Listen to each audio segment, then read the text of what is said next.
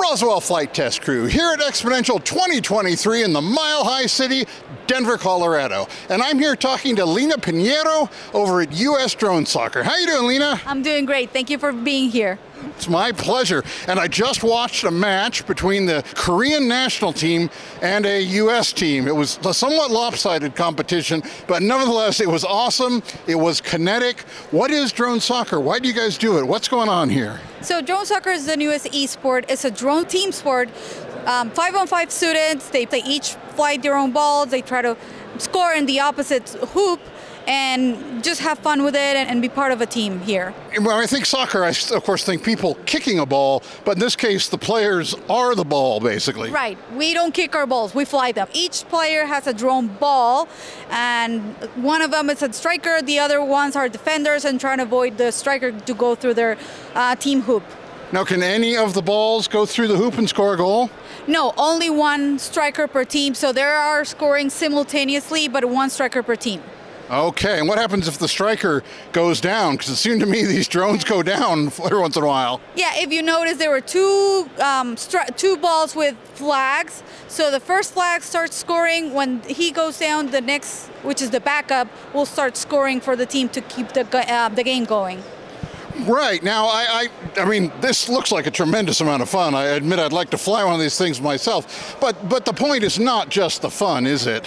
The fun is the hook we want students to go into aviation careers, drone careers, aerospace careers, if you will. So, but right now, and due to FAA regulations, they have to wait until the age of 16 to get their licenses or to start pilot training, any of that. But that time is too late. We have lost them to other industries, we have lost them to other interests, so we want to make sure we retain them they have fun with us, they play, they learn in the process, and by the time they're 16, they could go into the into the world, into the industry, and get their licenses and start flying professionally. Well, I'm certainly grateful to you for doing that. Now, let me ask you this. So, do the drones come out of the box and the students just bring them out here and fly them? Are they involved with the aircraft other than that? No, the students receive a kit. All their components are disassembled. The students put them together. They learn how to um, program them, they learn how to fly them, they learn how to repair them. And as you saw, in between sets, they have five minutes. They do their own maintenance, they change their propellers, do whatever they need to do to get back in the game. So the student, it's the owner of their own drone. And I was going to say, I, I, myself am an ice hockey fan. It reminds me a little bit of ice hockey because you can tag another drone and maybe even knock it out, and that's part of the game. Exactly. This is a contact sport, so there's a lot of contact, a lot of battle damage in the drones, but the kids have fun, and that's the point to have them repair them and be confident with their engineering skills. Uh, that's fantastic. So if, if somebody wants to get involved, like let's say they're at a high school, you know, and they want to bring this to their school, What's the procedure? How do they do it? The best way to do it is have their teacher, so their STEM teacher, their robotics teacher, contact us. We will provide all of the information. Most of these programs are funded through grants, um, career and technical education grants or workforce development grants. Um, the school goes through the process of getting the funding. They call us. We provide the equipment. We provide the training for the educators, and they just start with their students and have fun. And then how's it going? I mean, how many schools are currently enrolled? Are more joining up? Yes, we're super excited. Right now we have 100, more than 100 schools up and running. We have a lot more um, interest, so they're coming into the program. We're hoping to be able to deploy um, programs all over the country. And we also have some international um, programs in Puerto Rico, Canada, Nigeria, South Korea. All of the countries are interested in joining the program. Now, I was going to say that the South Koreans really put on quite a show. Did, does this sport have a special history in South Korea? Yes, the sport was invented in South Korea, and they're the ones who developed the, the drones first. Uh, we decided to bring it into the West, but we realized as a hobby, the cost will go to the student or into the families, of course.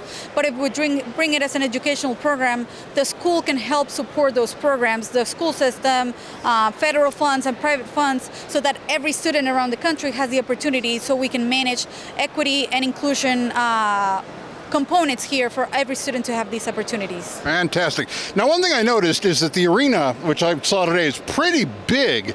Is there is that going to work for like a high school? This might be kind of large for them. Right. So this is the collegiate level. So this is intended for uh, universities, technical uh, institutions, and organizations.